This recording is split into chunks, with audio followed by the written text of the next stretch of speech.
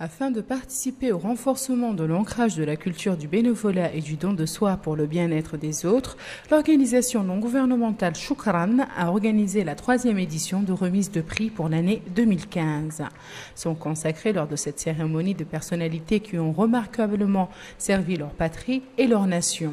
Parmi les prix décernés, on peut citer notamment le prix de la personnalité de l'année remporté par les maires de Nouakchott, le prix Mohamed Saïd Oulhamwadi décerné à un citoyen modèle œuvrant dans le secteur de la santé en plus des prix de l'organisation non gouvernementale de l'année et celui de la société civile de l'année. À cette occasion, le conseiller chargé de la société civile au ministère de Relations avec le Parlement et la société civile, Mohamed Abdallahi Willimam, a prononcé une allocution dans laquelle il a encouragé l'ONG Shukran pour cette manifestation qui, a-t-il dit, contribuera à inciter les citoyens à œuvrer sans relâche au service de leur patrie.